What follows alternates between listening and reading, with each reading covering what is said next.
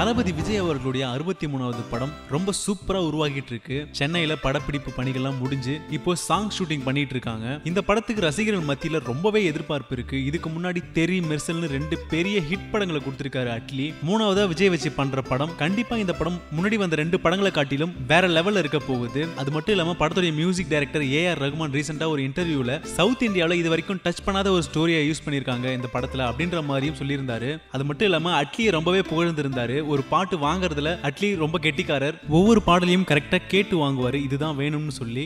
அந்த வகையில் தளபதி sixty three படத்தில் இருக்கிற ஒரு பாடல் பற்றின அப்டேட் தான் இப்போ வந்திருக்கு. தளபதி சிக்ஸ்டி த்ரீ படத்தில் விஜய்க்கு ஒரு இன்ட்ரோ சாங் இருக்கான் இந்த பாடலை சிங்கர் பாம்பா பாக்கியா தான் பாடுறாரு. இதுக்கு முன்னாடி சர்க்கார் படத்தில் சிம்டாங்காரன் என்ற பாடலை பாடினாரு. அதுக்கு அடுத்ததா டூ பாயிண்ட் ஓ oh படத்தில் புள்ளினங்கள் என்ற ஒரு பாடலையும் அவர் தான் பாடினாரு. இப்போ ரீசெண்டாக ரிலீஸ் ஆன சர்வம் தலமயம் படத்தில் டிங்கு டாங்கு அப்படின்ற ஒரு பாடலையும் ஏ ஆர் ரகுமான் இசையில் பாடினாரு. தொடர்ந்து ஏ ஆர் ரகுமான் இசையில் பாடிட்டு பாடுறாரு. இப்போ இரண்டாவது முறையா தளபதி விஜய்க்கும் பாடுறாரு. பாம்பா பாக்கியா அவருடைய வாய்ஸே கேட்கறதுக்கு சூப்பராக இருக்கும்.